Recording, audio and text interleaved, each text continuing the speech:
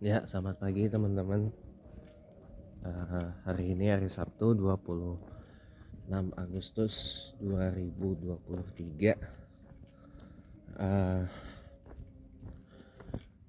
sekedar pemberitahuan awal dulu bahwa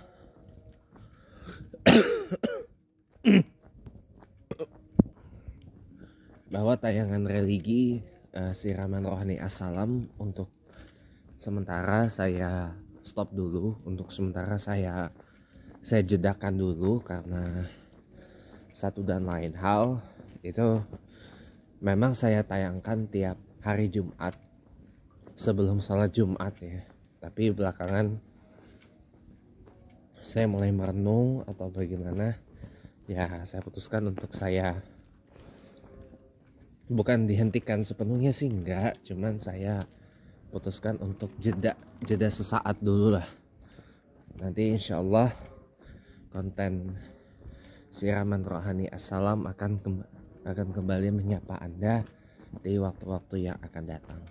Amin ya rabbal alamin.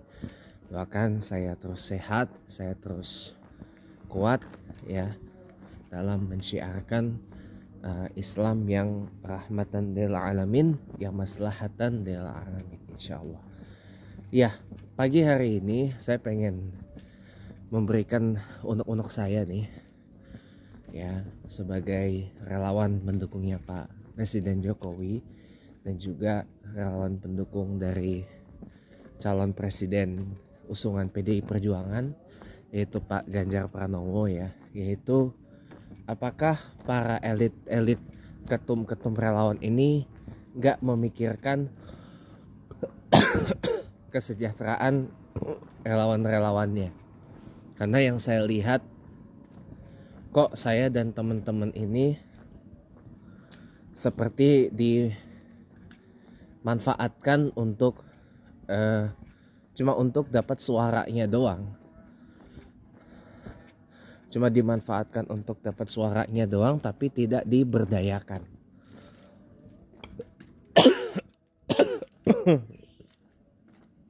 saya jadi berpikir gini. Dari dulu yang saya lihat kan pendukungnya Bapak Presiden Jokowi yang kemudian uh, ikut menjelma waktu Pilgub Jakarta 2017 menjadi pendukungnya Pak Basuki Cahaya Purnama atau Pak Ahok yang kala itu nyalon gubernur ya untuk nyalon gubernur pada saat itu sebagai petahana. Namun kalah oleh Bapak Profesor Dr. Anies Baswedan PhD lalu, lalu sekarang bertransformasi lagi menjadi sebagian besar eh, menjadi pendukungnya Bapak Gubernur Ganjar Pranowo di pemilihan presiden 2024 ya eh, itu selalu unggul dalam jumlah kuantitas itu selalu unggul dalam jumlah angka. Dalam hal ini angka masanya, angka organ maupun komunitas pendukungnya. Nah akan tetapi kualitasnya nggak ada sama sekali. Kenapa saya bilang kualitasnya nggak ada atau bahkan nyaris nggak ada? Karena terlalu berkutat sibuk dalam pengumpulan angka. Masih taunya cuman tahu dari sekedar banyak-banyakan gitu loh. Bukan dari siapa yang berkualitas. Ini yang salah teman-teman. Ini yang harus diperbaiki. Ya. Makanya kenapa saya menyuarakan ini semenjak saya berteman berkawan dengan salah satu pendukungnya Pak Ganjar yang juga seorang pelaku UMKM yang beliau juga sangat concerning banget tentang ini yaitu uh, yaitu Mbak Yumi Suwartono ya. Maaf saya terpaksa sebut nama karena memang ini adalah fakta. Maaf saya lagi saya sebut harus sebut nama karena memang ini adalah sebuah fakta yang harus saya ungkapkan. Dan ini juga berasal dari lubuk hati yang paling dalam ya. Sebab kalau saya dan Mbak Yumise ngomong kayak begini di kumpul-kumpul misalkan di rumah aspirasi di Ponegoro 72 di Menteng Jakpus ya. Di bersama teman-teman dari dengan TK dengan teman-teman TKRPPGP yang dibentuk PDI Perjuangan khawatirnya mental mental oleh teman-teman yang istilahnya tuh ya taunya tuh cuman ya seneng-seneng aja gitu taunya tuh cuman ya hura-hura aja gitu loh Makanya saya bilang lebih baik saya ungkapkan di sini aja. Mudah-mudahan kalau ini tayang di YouTube, insya Allah saya akan tayangkan di YouTube. Ini didengar dan disimak betul-betul oleh teman-teman maupun dari pucuk-pucuk baik itu pimpinan TKR PPGP maupun para ketua umum ketua umum relawan mendukung Pak Ganjar. Uh, ini benar-benar concerning banget ya yaitu mengenai kesejahteraan relawan pendukung Pak Ganjar dengan mereka itu diberdayakan bukan dimanfaatkan untuk mendulang suara apalagi dimanfaatkan untuk ketua umumnya mendapatkan jabatan tertentu entah itu misalkan komisaris atau dirjen atau kepala apa itu uh, lembaga pemerintahan, lembaga negara, non kementerian, tetapi setara dengan menteri. Ya, setaraf dengan menteri. Ada banyak itu saya nggak perlu sebut. Ya. Untuk hanya untuk mendapatkan jabatannya doang.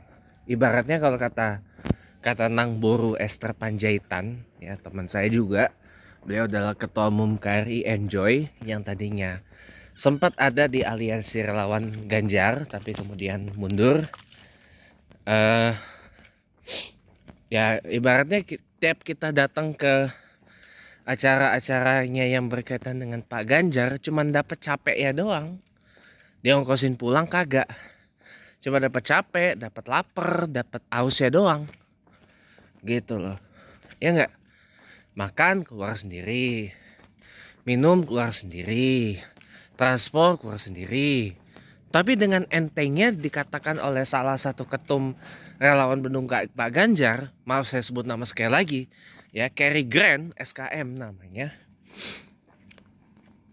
Dia bilang dengan entengnya, dengan mudahnya dia bilang, ya udah kalau emang udah gak kuat jadi relawan, ya silahkan melipir aja atau gabung aja, cari majikan yang lebih lebih kaya gitu loh. Gak semudah itu bos ngomongnya kami-kami ini saya dan teman-teman relawan pendukungnya Pak Ganjar ini juga perlu duit terlebih saya yang pengangguran.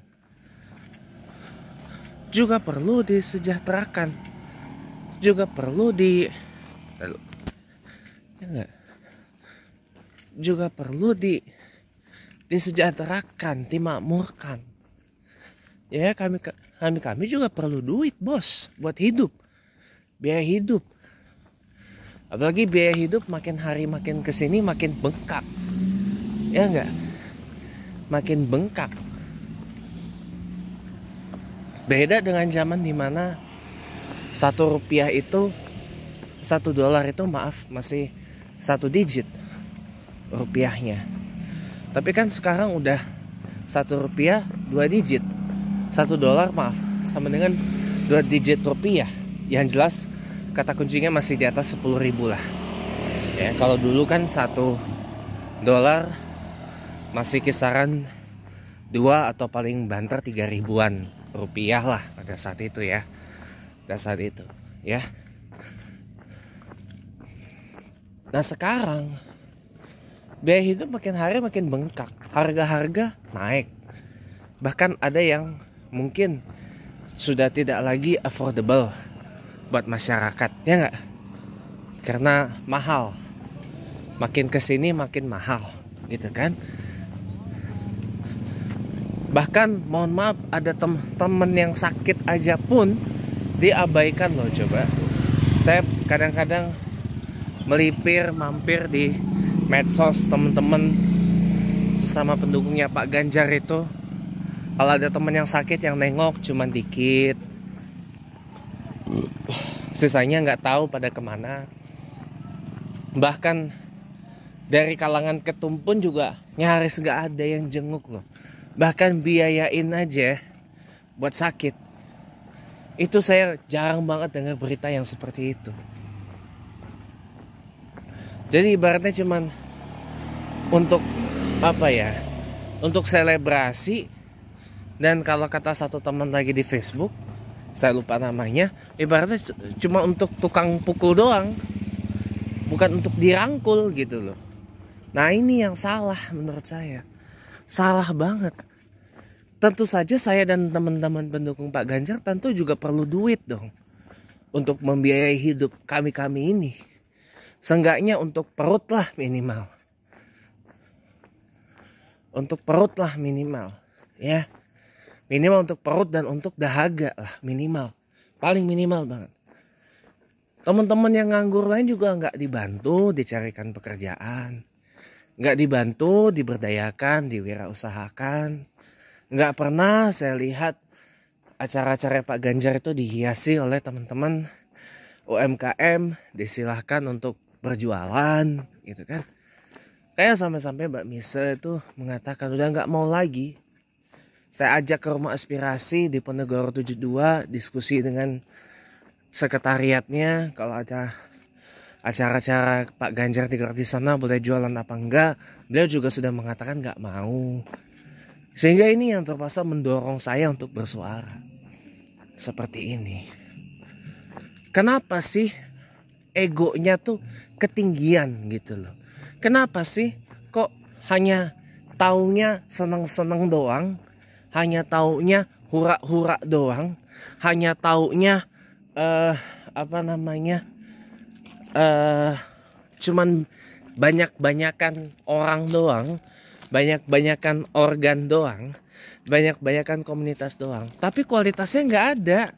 Bahkan hasilnya pun juga saya lihat tuh nggak ada nggak ada yang menghasilkan gitu loh nggak ada yang bisa ibaratnya dijadikan sesuatu yang disebut kemudian sebagai pemasukan dari teman-teman relawan pendukungnya Pak Ganjar. Ini oh ini main high beam ini. Si Wuling Convero main high beam dia. Gak apa-apa sih yang penting bukan LED putih nggak silau kan? Jadi kurang lebihnya tuh seperti itu loh teman-teman. Sedihnya saya adalah baik teman-teman lain pun ikut diem nggak ada yang berani menyuarakan ini. Karena mereka ada rasa kesungkanan atau mereka tuh kayak diteror gitu loh. Ya udah kalau misalkan nggak suka menjadi relawan harus begini-gini ya ya keluar aja gitu kan. Nah ini yang salah teman-teman. Ini yang membuat kemudian abang saya mentor saya Bung Ade Armando itu mengkritik keras PDI Perjuangan dalam memperlakukan relawan pendukungnya Pak Ganjar. Makanya ini teman-teman pun juga harus tahu. Ya wajar kalau saya bela Ade Armando. Kenapa saya nggak nggak ketika Ade Armando teman-teman mungkin menyebut menghujat PDIP dengan bahkan dengan kejamnya menyebut narasinya sebagai adu domba dan sebagainya. Nggak saya nggak nggak punya pemikiran. Pemikiran itu kenapa? Ya karena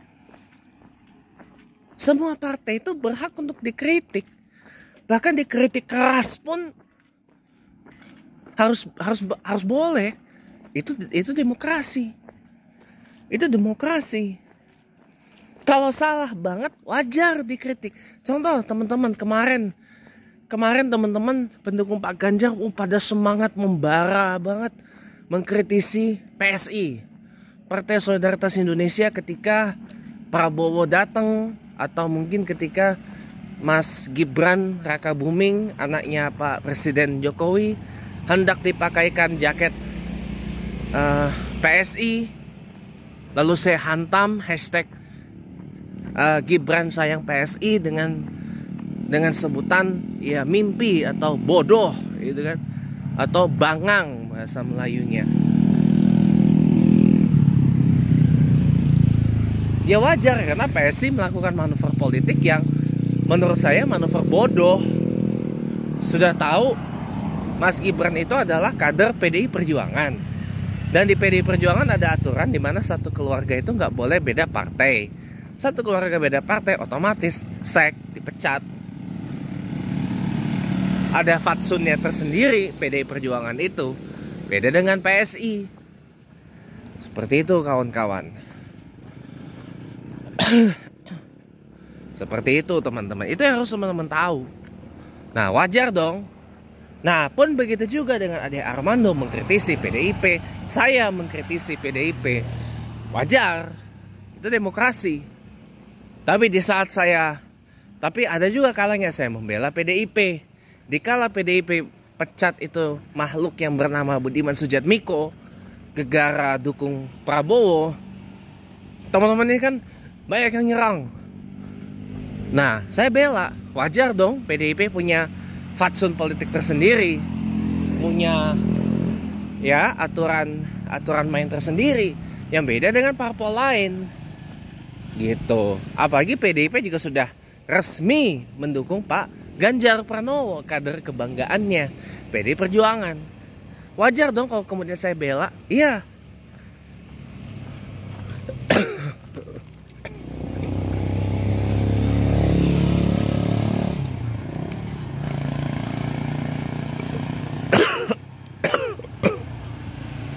Gitu. Di satu sisi saya juga kadang mengkritisi Bung Ade Armando. Kalau misalkan ada beberapa pernyataan atau narasinya yang keliru.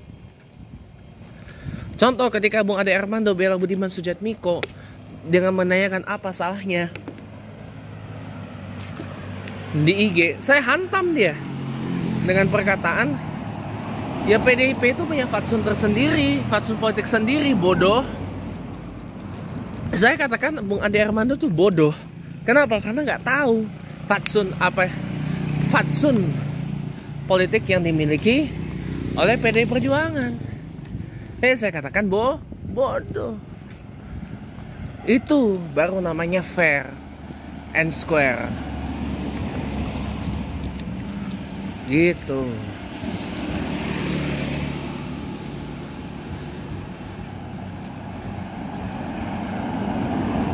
Makanya pada makanya para teman-teman sekalian ya mengkritik boleh. Menghantam boleh. Tapi harus fair and square dan harus